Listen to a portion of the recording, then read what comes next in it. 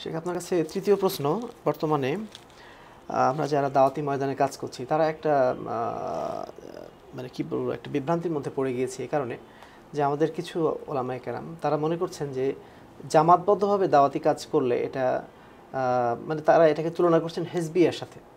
কোরআনে যে হিজবিয়াতের বিষয়ে নিষেধ করা হয়েছে, অর্থাৎ দলে দলে বিভক্ত হওয়া, এই বিষয়টিকে তারা সংগঠনের উপরে আরোপ করছেন। তো এটা আসলে কতদূর সঠিক হচ্ছে? আর তারা অনেকে আবার তুলনা করছেন তিয়াত্তর দলের সাথে। হাদিসে আল্লাহ রসুল সাল্লাহ ইসলাম যে তিয়াত্তরটা দলকে বিভ্রান্ত ফেরকা হিসেবে উল্লেখ করেছেন তার মধ্যে এই সংগঠনগুলোকেও তারা অন্তর্ভুক্ত করে নিচ্ছেন। তো এই বিষয়টা একটু পরিষ্কারভাবে বলে ভালো হতো। ধন্যবাদ। অত্যন্ত গুরুত্বপূর্ণ একটি প্রশ্ন যেটা নিয়ে আজকে আমরা এটা নিয়েও অনেক বিতর্ক দেখতে পাচ্ছি ফেসবুকের মাধ্যমে বিশেষ করে। তো এই ক্ষেত্রে বলব যে যে বিতর্কটা আসলে শুরু হয়েছে। আমি মনে করি এটা দুটা সূত্র বা দুটা ধারণা মানুষের মধ্যে ঘুরপাক খাচ্ছে। একটা হলো এই যে পূর্বে এগুলি সংগঠনের কোনো অস্তিত্ব ছিল না। তাহলে এখন সংগঠন আসলো কোত্থেকে? আর আরেকটা বিষয় সেটা হলে এই যে আসলে যারা সংগঠন করছি বা যারা করছি না এদের মধ্যে মনে হয় বোঝার মধ্যে একটু পার্থক্য রয়েছে।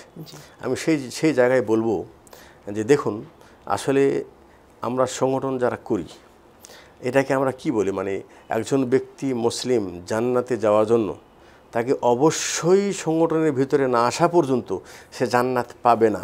এরকম কোনো বক্তব্য কেউ কি দিয়েছে?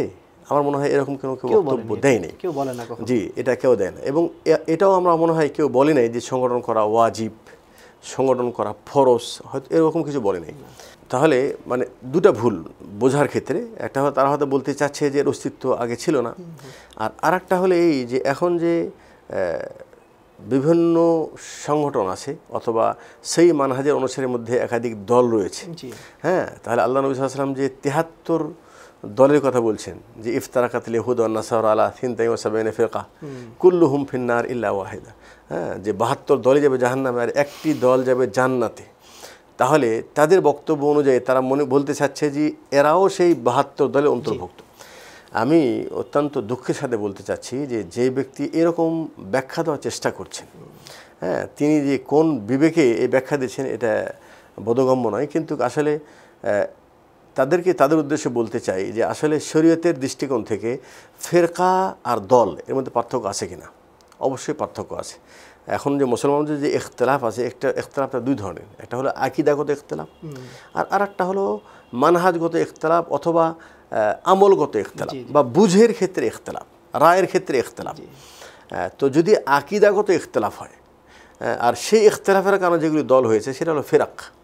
সেটা ফেরকায় দাল্লা হ্যাঁ ফেরকায় নাজিহা জি জি। ফেরকা তো দুটাই ফেরকাও ফেরকা হ্যাঁ জি। ফেরকা সেটাও ফেরকা মানে দুটাই দল।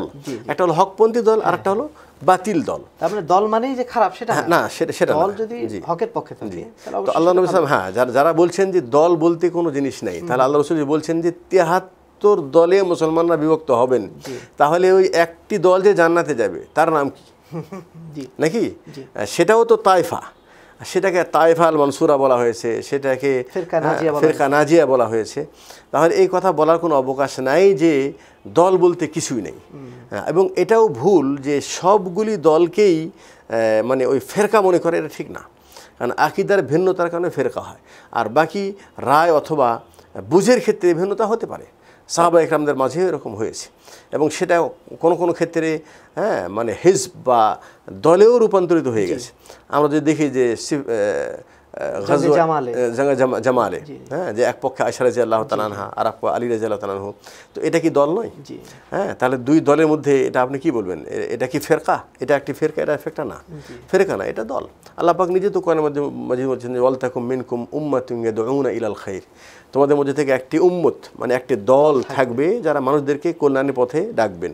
আল্লাহ পাক আরেকটা হাতে বলছেন ফালাউলা নাফারা মিন কুল্লি ফিরকাতিম মিনহুম তাইফাতুন লিয়াতাফাক্কাহু ফিদ্দিন তোমাদের মধ্যে থেকে একটি দল আল্লাহ রাস্তায় বের হওয়া উচিত যারা দিন শিখবে এবং তারা সমাজে এসে দিনটাকে প্রচার করবে।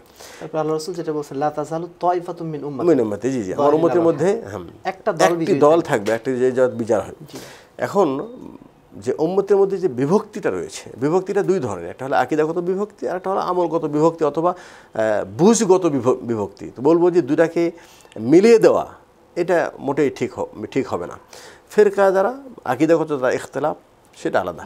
এখন আমাদের ভিতরে যারা সেহী মানহাজের অনুসারী আমরা যারা একাধিক মানে জামাতে আমরা যারা কাজ করছি বা একাধিক সংগঠনে যারা আমরা কাজ করছি আমাদের আকিদার মধ্যে কি কোনো ভিন্নতা আছে? সবাই আকিদা এবং মানহাজের দিক দিয়ে একই একই একদল একই। এটা কেমন? এটা হলো এই যে এক একজন এক একভাবে কাজ করার চেষ্টা করছে। হ্যাঁ তবে অনেকে এটা বলার চেষ্টা করছেন যে এইভাবে যখন আলাদা আলাদা জামাতবদ্ধভাবে কাজ করছে তখন পরস্পর হিংসা হচ্ছে বিদ্বেষ হচ্ছে। হ্যাঁ আমরা বলব জি এটাও এটাও একটা অপছন্দনীয় কাজ। যে পরস্পর হিংসা বিদ্বেষ হবে এটা বরং আমরা এটা আমরা চাই না। হ্যাঁ বরং উচিত বরং উচিত যে লা হাসাদা ইল্লা ফিসনাতাইন হ্যাঁ রজরুন আতাহুল্লাহ মান কেউ যদি ভালো কাজ করে তাহলে সে কাজের প্রতি আমরা ঈর্ষা করতে পারি। হিংসা নয়। ভালো কাজ দেখে হ্যাঁ আমরা খুশি হতে পারি। মাশাআল্লাহ তার দ্বারা একটা ভালো কাজ হচ্ছে। আমি যদি সহযোগিতা নাও করতে পারি তো তার জন্য আমি অকল্যাণ তো চাইতে পারি না। ঠিক আছে না? আর এই সংগঠনের মাধ্যমে বিশেষ করে আমাদের দেশে যেভাবে কাজ চলছে এখানে আরেকটি কথা বলব হয়তো ভুলে না যাই সেটা হলেই যে আগে যেটা বলছিলাম যে কেউ যদি বলে যে আল্লাহ রসুল যুগে সংগঠন ছিল না এখন কেন? বলব যে এখনও সংগঠনের প্রয়োজন ছিল না। যদি আল্লাহ রসুলের যুগে এরকম কোনো খেলাফাত থাকতো কোনো একটা খলিফের অধীনে যদি দেশ পরিচালিত হতো- এবং সেই ইসলামী রাষ্ট্র কায়েম থাকতো তাহলে এখানে বিভিন্ন দলে বিভক্ত হওয়ার কোনো সুযোগ ছিল না। সৌদি আরবে হ্যাঁ সৌদি আরবে আছে। যে এটা অনেকে বলেন সৌদি আরবে কোনো দল নেই এখানে এত দল কেন। ওখানে দিলের কোনো প্রয়োজন নেই। এটা একটা বিষয়। আর একটা বিষয় সেটা হলেই যে এর বিপরীত যেটা আমরা দেখতে পাচ্ছি সেটা হলে যে যারা বাতিল ফেরকা যারা আছে অথবা যারা সেহি মানহাজ থেকে যারা দূরে সরে আছে তারা কিন্তু সবাই সংগঠিত তারা জামাতবদ্ধ ঠিক আছে? তো তারা যদি দলবদ্ধ হয়ে বাতিলের দাওয়াতকে তারা যদি চালিয়ে যেতে চায় তাহলে সেখানে আমি হকপন্থী একাই এক কণ্ঠে আমি যদি তাদের বিরোধিতা করার চেষ্টা করি বোঝানোর চেষ্টা করি তাহলে সেটা। জি জি এটা- এটার দ্বারা কতটুকু উপকার হবে? আর সেটা যদি আমি দলবদ্ধভাবে হ্যাঁ আমি দাওয়াতের প্রচার এবং প্রসার ঘটানোর চেষ্টা করি তাহলে এটা কেমন হবে? ঠিক আছে না? তাহলে দুটা কিন্তু প্রেক্ষাপট এক না কেউ যদি বলে যে ওই যুগে ছিল না এই যুগে কেন? তাদের বোঝা উচিত যে দুটার দুই যুগের প্রেক্ষাপট এক নয়। ঠিক আছে? এখন আমাদের ওরকম রাষ্ট্রও নেই এবং প্রেক্ষাপট বা অবস্থা আমাদেরকে বাধ্য করছে। আমাদের বিপক্ষে যদি অন্যরা সংগঠিত না থাকতো তাহলে হয়তো আমরাও হতাম না। হ্যাঁ? সবাই যদি নিজ নিজভাবে দাওয়াতে কাজ করতো আমরা ওভাবে করতাম। কিন্তু তারা যেহেতু আমাদের বিপক্ষে সবাই এক তো সেখানে আমি বিচ্ছিন্নভাবে থেকে একা একা থেকে আমি দাওয়াতে কাজ কীভাবে করতে পারি? তাই নাকি আচ্ছা। বিবেকহীন কাজ। বিবেকহীন কাজ। আর যেটা বললাম যে ফেরকা আর তাইফাকে দুটাকে মিলিয়ে দেওয়া এটাও আহ, শরীয়ত সম্মতিত নয়। এটা এটা এটা ভুল করেছেন। যিনি এটা বলেছেন এটা ভুল করেছেন। কারণ এটা সর্বযুগেই শুধু বাংলাদেশ না সারা দুনিয়াতেই হ্যাঁ, সহি মানহাজের অনুসারীরা তারা হ্যাঁ, অনেকভাবে কাজ করে যাচ্ছেন। হ্যাঁ, অনেকভাবে এবং তারা অনেক সময় দেখা যাচ্ছে যেই আলেমের যেই এলাকার প্রভাব হ্যাঁ তার অনুসারীদেরকে নিয়ে মূল উদ্দেশ্য এখানে নিয়ত কি? তিনি কি চাচ্ছেন? এটা হলো মূল কথা। তার আকিদা মানহাজটা কি? মানহাজ কি? হ্যাঁ জি হ্যাঁ। যদি কারও হ্যাঁ অবশ্যই কারও যদি মানহাজি কত যদি ভুল হয়ে থাকে আকিদার যদি কোনো সমস্যা হয় তাহলে অবশ্যই তার আকিদার সংশোধন করতে হবে এবং সে মানে অপছন্দনীয় কাজে অপছন্দনীয় কাজে জি। আচ্ছা এই বিষয়ে আমরা হয়তো বা দর্শকের উদ্দেশ্যে স্মরণ করে দিতে চাই যে আমরা তো যে কথাটি বললাম কিন্তু আর এখন আমরা বিশ্বে যারা প্রখ্যাত আলেম যিনি আছেন গ্রহণযোগ্য আলেম হ্যাঁ তাদের কাছে তো এগুলি প্রশ্ন করা হয়েছে যে এখন বিভিন্ন দেশে যে সংগঠন আছে সৌদি আরবে নেই কিন্তু ওদেরকে অবশ্যই বাইরের প্রেক্ষাপটের আলোকেই প্রশ্ন করা হয়েছে। ওনারা যে উত্তরে দিয়েছেন আমি দর্শকের উদ্দেশ্যে যদি সেটা একটু শুনিয়ে দিই যেমন আলবানি রাহেমাহুল্লাহ উনি ওনার যে ক্যাসেটটা রয়েছে সিলসিলাতুল হুদা ওয়া নূর সেই ক্যাসেটের পাঁচশো নব্বই নম্বর ক্যাসেটে উনি বলছেন যে আইয়ু জামিয়া তোকামু আলা আসাসিম মিনাল ইসলামী সাহি আল মুস্তাম্বাতু আহকামুহা মিন মিন কিতাবিল্লাহি ও মিন সুন্নতি রসুলিল্লাহ ও মিম্মা কান আলাইহি সালাফুন সালেহ ফাআইয়ু জামিয়াতিন তাকুমু আলা হাদাল আসাস ফালা মাজালান লি ইনকারিহা ওয়ালা অর্থাৎ তাদের মানহাত যদি ঠিক থাকে এবং কোরআন হাদিসের হ্যাঁ তারা যদি নিঃসত্ব অনুসারী হয় এবং তারা যদি কোনো জমিয়ত দলবদ্ধভাবে সংগঠিতভাবে সংগঠনের মাধ্যমে যদি তারা যদি কাজ করে তাহলে তাদেরকে হ্যাঁ হিজবিয়ত বলে গালি দেওয়ার কোনো সুযোগ নেই কোনো সুযোগ নেই। লিআন্না ওয়াসাইলহু মিন জামান ইলা জামান ও মাখান মাকান মাখান অমিন বারাদিন ইলা উখরা। আহ, ولذلك فاتهامهم جمعية تقوم على هذا الأساس بالحزبية أو بالبدعية فهذا لا مجال إلى القول به মানে এই ধরনের দলকে কোনো বেদাতি দল বলা অথবা হিজব যেটা ওরা বলতে চাচ্ছেন এগুলি বিভিন্ন হিজব দলে বিভক্ত হয়েছে হ্যাঁ তো এই ফটো তো আমাদের ফতোয়া না হ্যাঁ আলবানী রাহেমুল্লাহ তিনি বলছেন আরেকটি ফতোয়া দর্শকের উদ্দেশ্যে বলতে চাচ্ছি আহ, সংক্ষেপে যদিও আমাদের কাছে অনেক আহ, বক্তব্য আছে আলিম আমাদের যেমন আহ, শেখ আব্দুল মোহসিন আল আব্বাদ ওনাকে জিজ্ঞেস করা হয়েছে, হাল ইয়াজুজু তাসিসু জামিয়ত হাদাফু দাওয়াত ইলা কিতাব সুন্না আলা ফাহম সালাম সালি ওনাকে জিজ্ঞেস করা হয়েছে তখন উনি উত্তর দিচ্ছেন ইদা কানা বালাদুন ফিহি জামিয়াত মুখালিফুল ইসুল্লাহ সুন্দর কথা। মানে উনি যেই দেশে বসবাস করছেন সেখানে যদি এমন কোন দল থাকে যে দলগুলি সুন্নত বিরোধী দল ও আরাদ আহলু সুন্নতি ইউকাউবিনু জামিয়া ইয়ানি ইয়াকুমুনা বিসাবাবিহা বিন নুফুদ ইলা নাস। ওয়া আন্নাহুম ইয়াকুমুনা বিদাওয়াতি ইলা আল্লাহ আজ্জা ওয়াজাল ফাইন হাদা শাইউন মাতলুব লা বাস। বিপক্ষে যেহেতু তারা বাতিল তাদের বাতিলটা মানুষের সামনে প্রচার করেছে দলবদ্ধভাবে সেখানে আমি যদি দল তৈরি করি সংগঠন তৈরি করি এই উদ্দেশ্যে যে আমি এই সংগঠন মানে দলবদ্ধভাবে হকের দাওয়াতটা তাদের কাছে পৌঁছে দিতে চাই তাহলে তিনি বলেন যে এতে কোনো সমস্যা নেই। ইয়ানি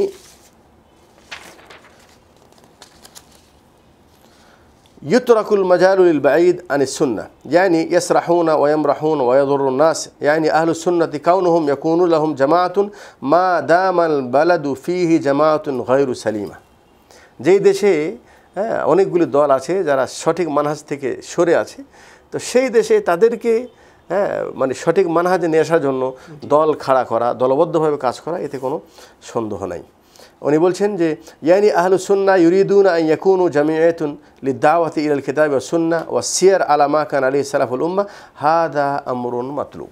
বলছেন এটা তো প্রয়োজনীয় বিষয়। হ্যাঁ প্রেক্ষাপটের কারণে এটা অবশ্যই করা উচিত। তাহলে আমরা বলব যে ওলামাদের দৃষ্টিকোণ থেকেও তাদের ফতোয়া অনুযায়ী সংগঠন এটা কোনো বেদাতি সংগঠন নয় এবং এটা এটাকে ফেরকা মনে করা এটা একেবারে মানে হক থেকে অনেক দূরের কথা।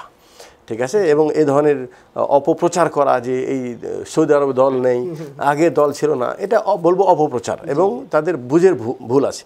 আর আরেকটি কথা বলব সেটা হলে যারা এই প্রচারগুলি করছেন হ্যাঁ ওনারা ওনাদের দ্বারা কতটুকু দিনের খেদমত হয়েছে? আর যারা সংগঠিতভাবে দাওয়াতি কাজ করে যাচ্ছেন তাদের দ্বারা হ্যাঁ দিন কত উপকৃত হচ্ছে? ওনারা যে বলতে চাচ্ছেন যে এদের এদের দ্বারা হিংসা সৃষ্টি হচ্ছে আমি তাদেরকে বলব হিংসা তো তাদের মধ্যেও দেখছি আমরা। নাকি? তাদের মধ্যে যদি হিংসা না থাকতো তাহলে তারা মাঠে ময়দানে এভাবে সাধারণ জনতার সামনে হ্যাঁ এভাবে মানুষকে উস্কানিমূলক বক্তব্য দেওয়ার কোনো প্রয়োজন ছিল না। উনি যদি ইসলাহ চাইতেন তাহলে অবশ্যই যেখানে যে কথাটা বলার প্রয়োজন ছিল সেখানে যেমন মোনাকাশা করতে পারতেন বলতে পারতেন সেটা না করে সাধারণ জনগণকে বিভ্রান্ত করার চেষ্টা করা তার মানে হলে যে হয়তোবা ও ওনার নিয়তের মধ্যেও সন্দেহ আছে। আর যেই ইখতলাফ যেই ভয়ে ফেরকার ভয়ে উনি নিরপেক্ষ দৃষ্টি ভূমিকা রাখছেন আমি বলব ওটা আর একটা দল সৃষ্টি হয়ে গেল। হ্যাঁ দল থেকে বাঁচার জন্য যে কাজ করেছেন অটোমেটিক সে আর একটা দলে অন্তর্ভুক্ত হয়ে গেছে। আসলে মানুষের ফিতরাতের বাইরে। জি। মানুষ সবসময় সমাজবদ্ধ থাকতে চায়। সমাজবদ্ধ থাকাটাই তার ফিতরাত। এখন যে ব্যক্তি বিচ্ছিন্নতার দিকে আহ্বান করছেন তিনিও কিন্তু প্রকারান্তরে আরেকটা দল কিন্তু হয়ে যাচ্ছেন অটোমেটিক্যালি তিনি চান বা না চান একটা দল কিন্তু হয়ে যাবে। তারা হচ্ছে বিচ্ছিন্ন দল। জি ওটা একটা বিচ্ছিন্ন দল। একটা বিচ্ছিন্ন দল। আর বিচ্ছিন্ন দল যারা আছেন তারাও তো এক মানহাজে না। এক একজন এক এক রকম বক্তব্য দিচ্ছেন।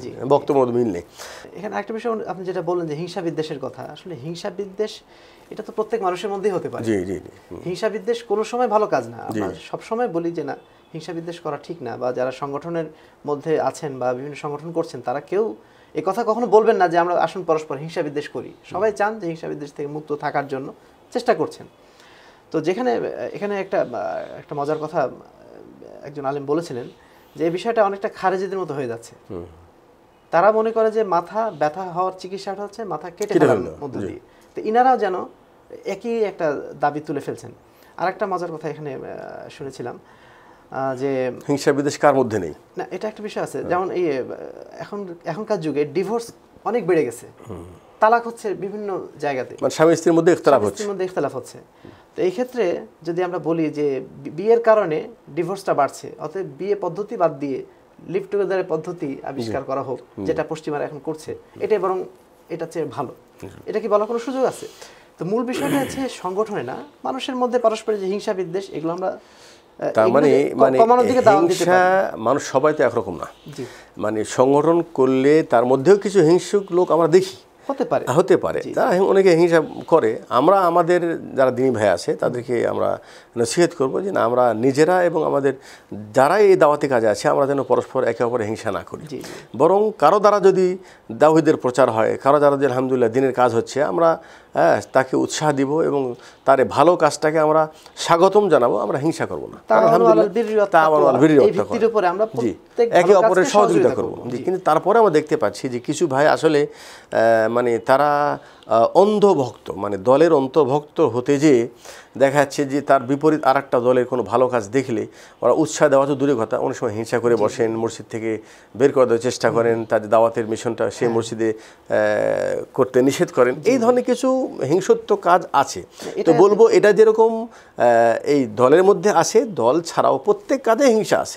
পরস্পর প্রতিবেশী যারা আছে আমরা একে অপরে হিংসা করছি না। দুইটা মাদ্রাসা দুটা মাদ্রাসা পাশাপাশি দুটা দোকান পাশাপাশি। হিংসা হচ্ছে না? সব জায়গায় হিংসা আছে। কিন্তু হিংসা আছে বিধায়ী হ্যাঁ যে সংগঠন করা যাবে না তাহলে ওরকমই হলো যে মাথা ব্যথা আছে চিকিৎসা না করে মাথা কেটে ফেলে দিতে হবে।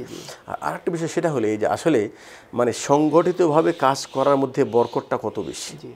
বিশেষ করে আমরা বাংলাদেশে দেখতে পাচ্ছি যে এমন এমন এলাকা আছে যেখানে আলহামদুলিল্লাহ সহি আকিদা দাওয়াত একসময় কিছুই ছিল না।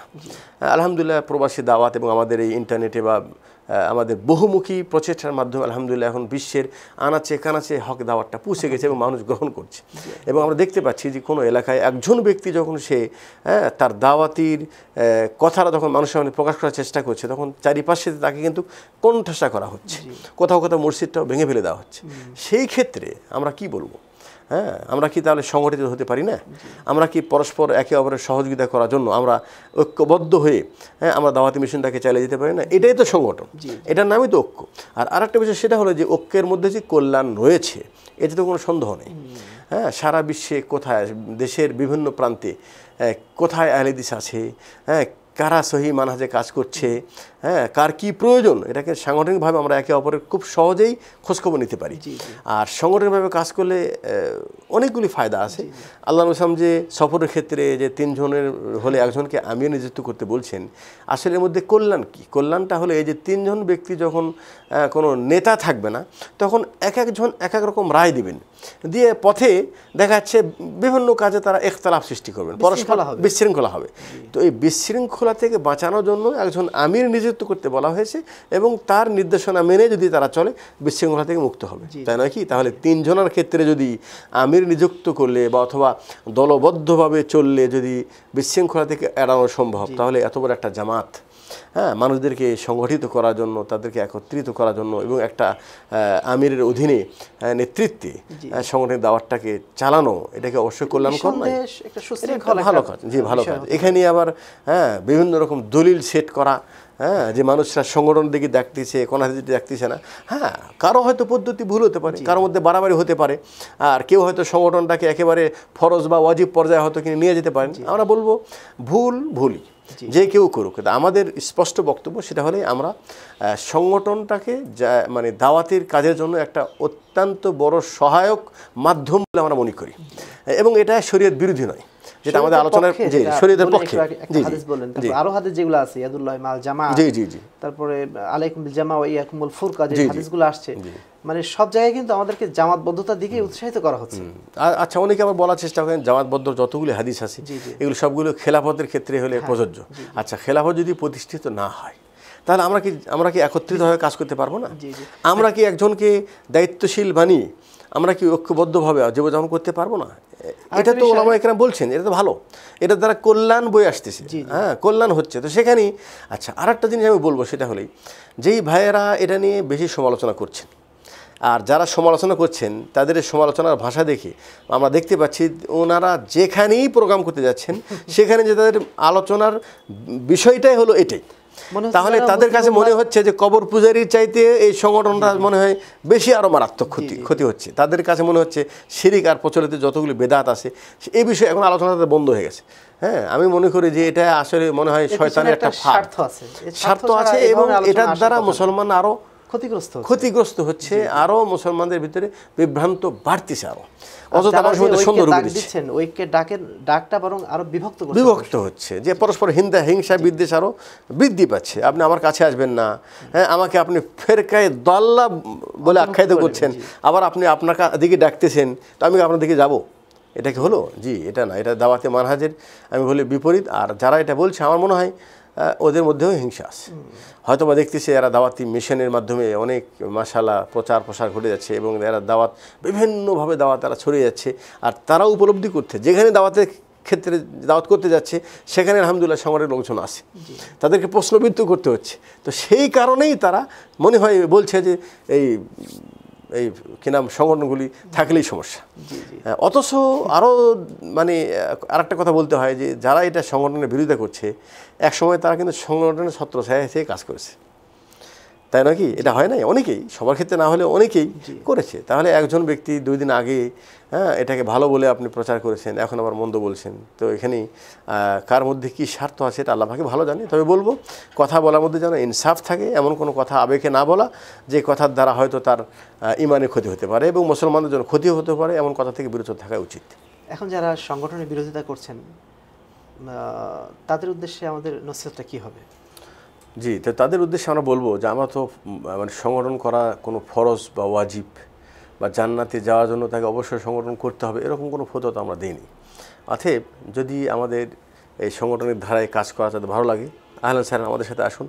আর না হয়ে যদি আপনি এককভাবে যদি কাজ করতে চান, আমরা এটাকে কোনো বেদাত বলছি না, তাদেরকে নিষেধ করছি না। তো আপনি এককভাবে কাজ করে যান দাওয়াতে কাজে কাজ করেন, সমস্যা নেই। কিন্তু হ্যাঁ মানে সংগঠিত যারা কাজ করে যাচ্ছে তাদেরকে আপনি ফেরকায় দল্লা বলছেন তাদের সমালোচনা করছেন হ্যাঁ তো এটার দ্বারা তো সমাজ আরও বিভক্তি সৃষ্টি করছে হ্যাঁ এটার দ্বারা তো বিভক্তি বেশি হচ্ছে আর পরস্পর হিংসা বিদ্বেষ বেশি হচ্ছে। তো এটা না করে আপনি দাওয়াতে কাজ চালিয়ে যান হ্যাঁ ওই ওই নীতির আলোকে অর্থাৎ আওয়ানু আল বিরি তাকওয়া হ্যাঁ যে ভালো কাজ আমরা একে অপরের সহযোগিতার মাধ্যমে কাজ করে যাই আর এরপর এভাবে সমাজের মধ্যে বিভ্রান্ত যেন না করে এটা আমরা তাদের কাছে আশা রাখব ইনশাল্লাহ জাজাকুমুল্লাহ খাইরান।